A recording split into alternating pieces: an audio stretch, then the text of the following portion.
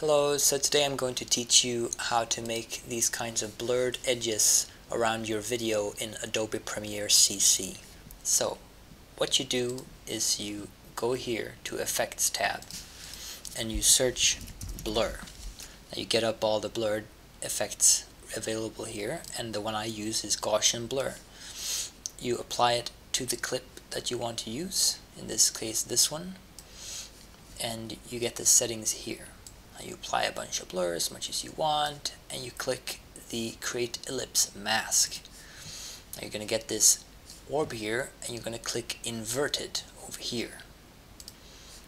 That will put the blur on the outside instead. Now you change the shape pulling at these different anchor points. Now you could use the pen tool or other mask tools over here to make any shape you want to blur out whatever region you want of a video but we're going to use the ellipse now what you're going to do, because you have this kind of sharp cut here from the blur to the sharp image, you're going to use these controls over here, the circle on the outer edge. You're going to pull it outwards and you see the blur is going to fade into sharp. So if we deselect, you can see here that there's like a fade here. You probably want to have it fading a bit more, so you select the mask again pull out the fade even more. Now the square here, what that does is that changes this line, this uh, anchored line. So instead of like having to change the shape using all these anchor points, you can just use this square and you can change the entire, you see now you're, but let me show you that.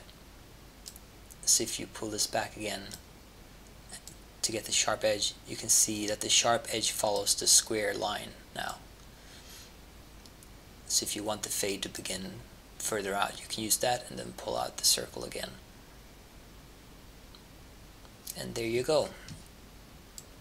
Now your video is going to have this kind of cool faded edge. And uh, that's all you have to do. This is just like the simple, direct way of doing it. You put that in there, there you go. Now if you want to copy this and use it for several clips, you click here, you select the Gaussian blur, you copy and then you select the clip you want to move it to and you paste it in there. And now you have the Gaussian blur as you can see. You just turn it off turn it on using the controls here. And that's it. Thanks for watching. Please leave a like if this was helpful. And that's all